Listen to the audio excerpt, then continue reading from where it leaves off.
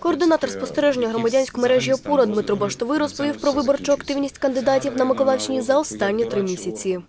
Загалом у нас активність проявила 27 кандидатів е, помітно, хоча в публічній площині з них 13 кандидатів ми можемо виділити реально, які застосовували більшість або взагалі всі е, форми передвиборчої агітації.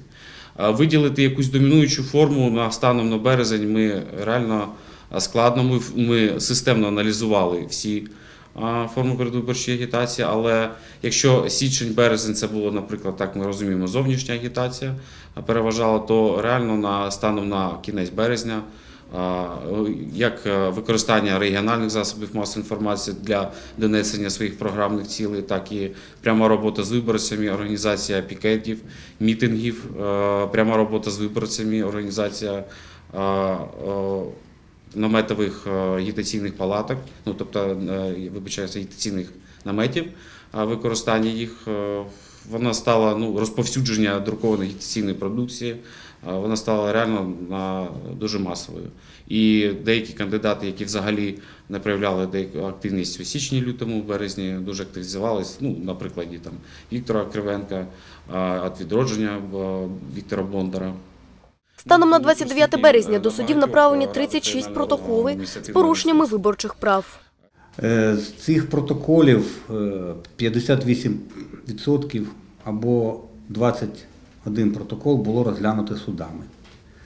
Е, Інші поки ще, поки ще суди не розглядали. Е, За, за, цими, за наслідками розгляду притягнуто до відповідальності 6 осіб.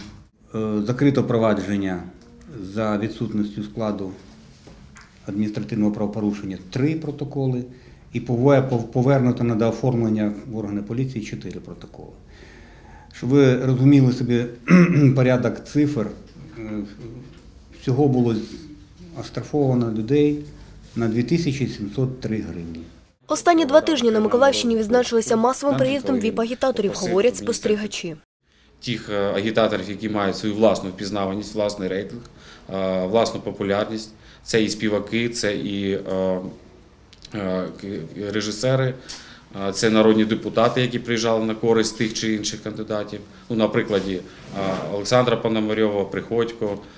Так ми знаємо там на користь Юлії Тимошенко, на користь Петра Порошенка багато приїжджав групі і Ада Роговцева, так і Козак Сістем.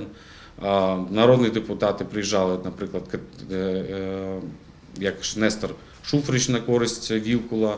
Так це був і е, голова Європейської партії Микола Катеринчук приїжджав на користь Анатолія Гриценка. Це, і така активність продовжується і досі, по суті, по сей день, по, і наразі.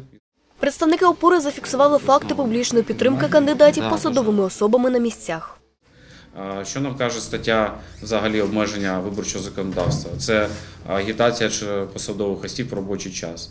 З цією метою, як ми спостереження взагалі за всіми посадовими особами нашої області, які плюс-мінус ми вважали, мають е, якусь політичну е, направленість щодо одного одного з кандидатів, е, розпочала ще з жовтня місяця.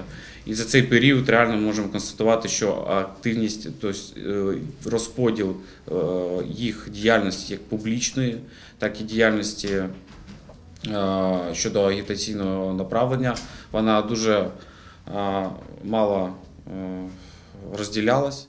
Ми зверталися до національної поліції щодо е, одного з е, посадових осіб Вітовської адміністрації, щодо нашого міністра інфраструктури, де явно була вже неприхована агітація відповідно в робочий час.